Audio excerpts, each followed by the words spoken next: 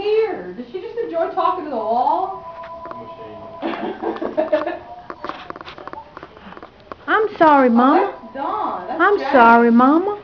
Answer that. Hey, Mama. I'm sorry. Dawn is calling I'm sorry, Mama.